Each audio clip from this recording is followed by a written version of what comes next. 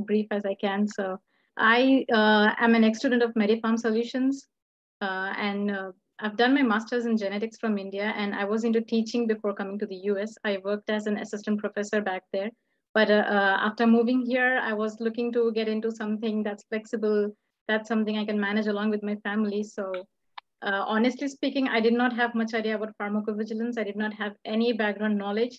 So it was just a Google search. I found MediPharm Solutions. Nobody recommended it. It was just through Google search. I had a, uh, I found MediPharm Solutions. I was lucky, I feel. Then I talked to Abhishek, I attended his webinar, and then I was interested in it. So I did my course in June. Uh, I started in June, and uh, my marketing I started in the last week of September.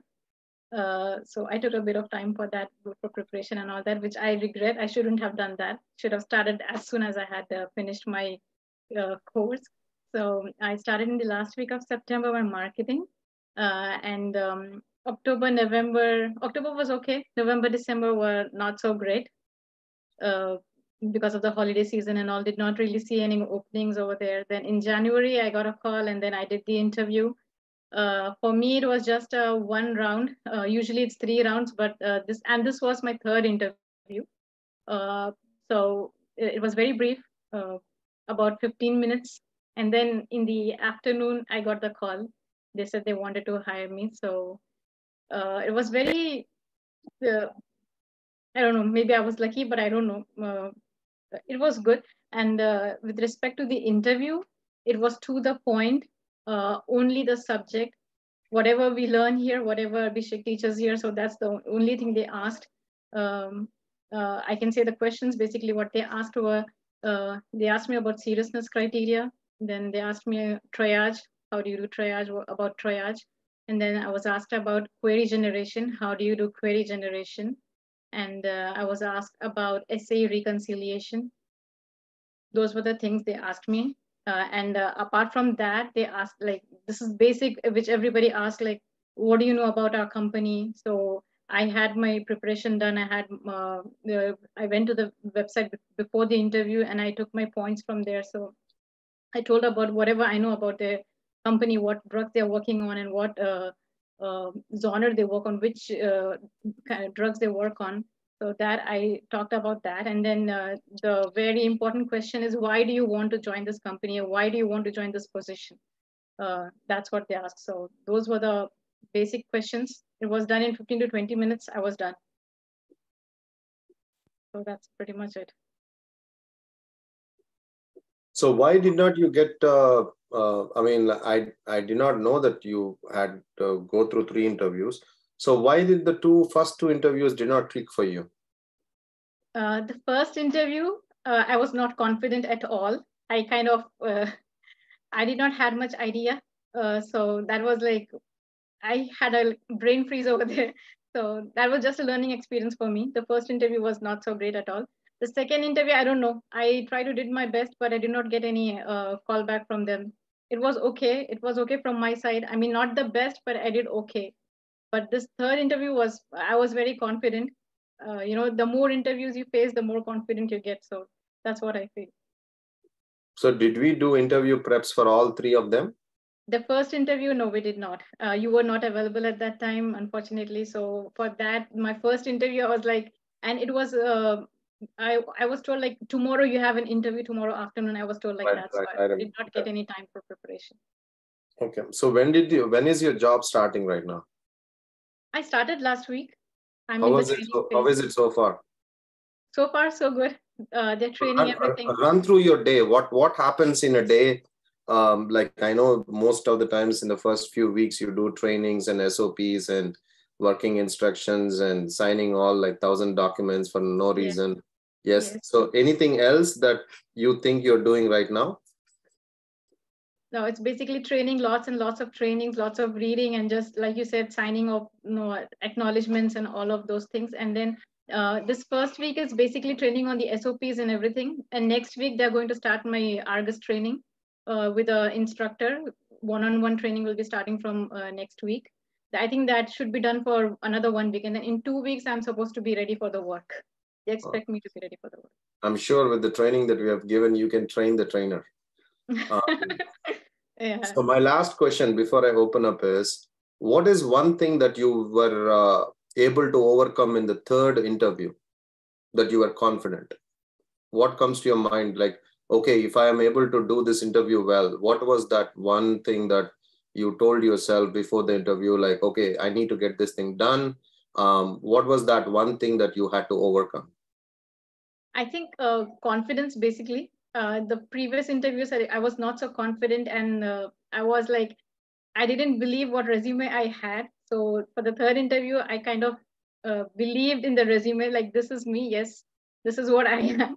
So I think unless you believe in yourself, people won't believe you. So that's the thing worked for me in the third interview. So don't you think your education works? You have a lot of uh, I mean, you did genetics. You kind of cracked the code for chromosomes and stuff, but you cannot crack yourself.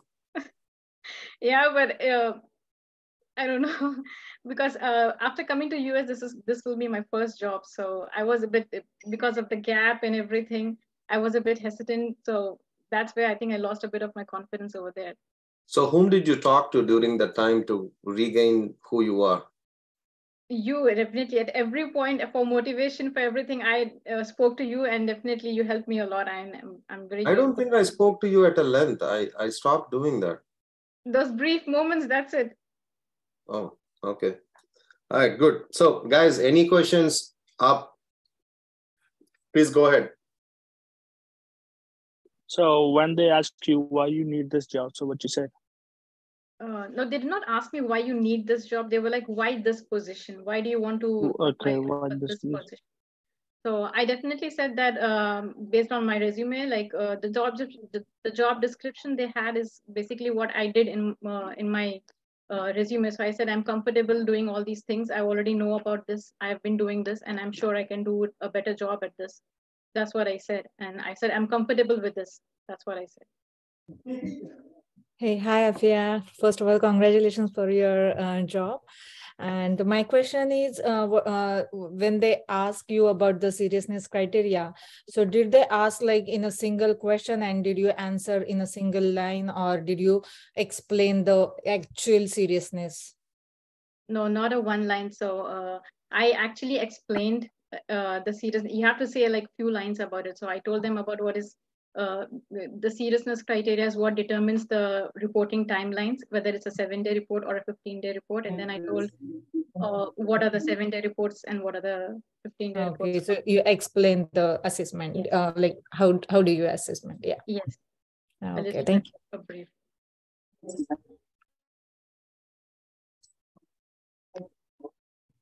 I uh, yeah is uh, they asked about your experience or about the course that you have undergone and about any questions about that. They don't ask about uh, any course, but they did ask uh, like definitely when you start, they start like uh, just tell uh, just run through your day. So you have to talk about like what do you do at your job based on your resume. You have to just explain your job role, your duties. That's all. Okay. Thank you. Hi, Afia. I have a question about the training. Um, yes, if you're not talking, the... please mute. I hear a lot um, of background. Thank you. Hi, so I'm just asking about the training. So is it a self-training or someone um, sit with you and train you? Uh, are you doing a remote job or just like at the in-person uh, at the company? I know. So this is I, uh, this is a completely remote job, and the training uh, with this, like they basically train with whatever uh, mm, you know the apps and the website, uh, the company website, whatever the, you're going to use. The trainings are like short, just like how you have the modules over here. You just read through them, and then there's a short quiz. You answer the quiz, and then you just keep moving forward. It's like that. Uh, hey, Afia, uh, did they ask uh, like the situational questions like regarding uh, uh, the past experience? Did you like do that? And if, if there is a happen, what you will do? All these kind of questions? For this interview, I was lucky. I did not ask, they did not ask me any situational questions for this interview. But for previous interview, I was asked, uh, okay. like uh, they asked me, uh, tell me about your achievements, something like that they had asked me. So Okay, not for the technical standpoint, right? No, yeah. Okay. Thank you. Uh, hi, Afia. Uh, congrats. Uh, so, did you mention in the resume about your past job experiences or work experience? Yes, that is definitely mentioned in the resume. Okay, so still you didn't get any queries like uh, why is it you are moving from an related to non-related kind of job or something? No, actually depends on your resume. So my resume, like uh, whatever was there on my resume, it was very much related to what job I was applying for. So that uh, no, no, no. Uh, so you worked as a educator in genetics, and then you are converting yourself into a uh, medical drug safety physician or something. So uh, didn't they ask you like from your educational qualification or from your previous ex work experience, you are in a different technical field rather than this? Did they? Did you come over such questions? Uh, no, so the whatever experience I've, I have from back from India, I did not put that into this current resume. So okay, that's what uh, in a resume you didn't mention the previous ones. No. Okay. Okay. Um, hi. Sorry, can I go ahead? Yeah, please go ahead. Thank you. Uh, so, how many positions you've applied for, and what are the roles you mainly applied?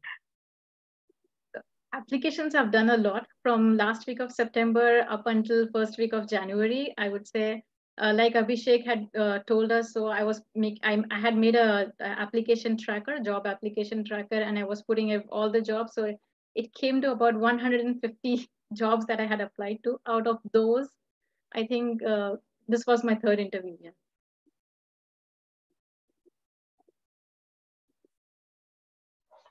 Hi, Afia. Um, what's the exact position that you were hired for? Like your title? Uh, it's a case management specialist. Okay, thanks.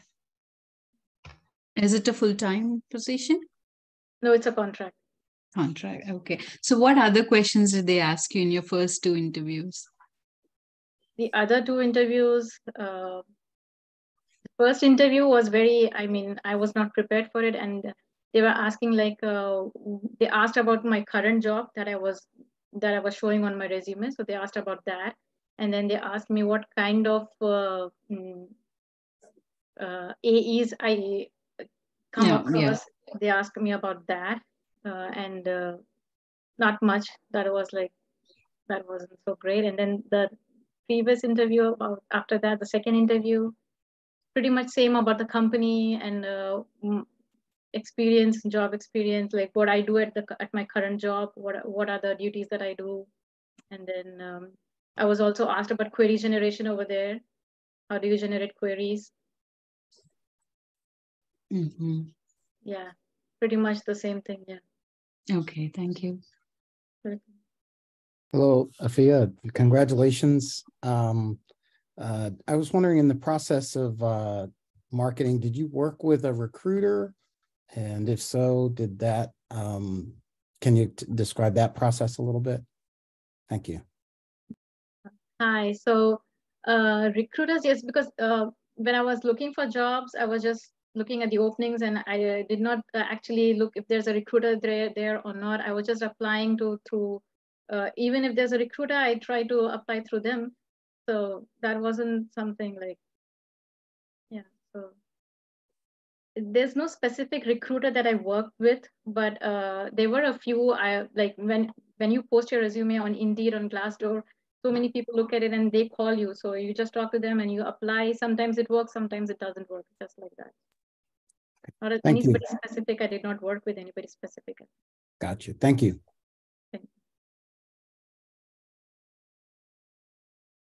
All right. Thank you. Thank you, Afia. Thank you guys for all the questions. Um, what I can point out is just, just generic, nothing to do with Afia and her answers. Um, you know, for every person, for every uh, resume or every person, you guys have your own kind of unique stamp. So what might have happened with Afia, uh, you don't need to take it in the same way or in the same uh, track and say that oh i'm going to have three interviews and i need to get my job in the third interview that's not how it works There are folks, many folks who have got their jobs in the first interview itself. So again, the way that we do is we try to do the best we can to kind of uh, make sure that you are uh, you are aimed for success in the way that we put together things in the resume and everything as much as I can share on a public platform like this. We try to make sure that we polish around the resume part and then your interview preparation part. There's more to uh, what you guys are not able to see. What you guys are doing right now in the course and the subject and you know trying to learn the concepts and all those things is I would say 75% of the game, but 75% of the game doesn't win you the game. And I hope you understand that. The last 25% comes after the course when you get into job placement. You'll have uh, you'll you'll you'll have a very different way of uh, uh, learning certain things that how you have to get a job in pharmacovigilance. How many videos we do, how many uh, interview preps we do. It it requires you to have a lot of common sense in uh, in kind of answering the questions in the interview, but also handling some of the things before the interview. So again, some people get it straightforward because uh, you you have that experience before, and some don't. Um, so you'll take a little more time. So don't take what Afia is saying uh, that it's going to happen to you in the same way. Your story might be completely different. And if you if you have any doubt in what I'm saying, go through all the success stories in the module. Uh, one of the module has success stories, I believe. You will see that what Afia told you is not really exactly the same for every person.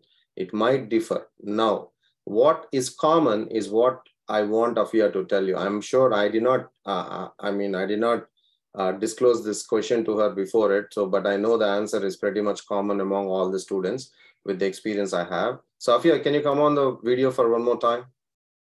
Sure, sure, Abhishek. I, I want to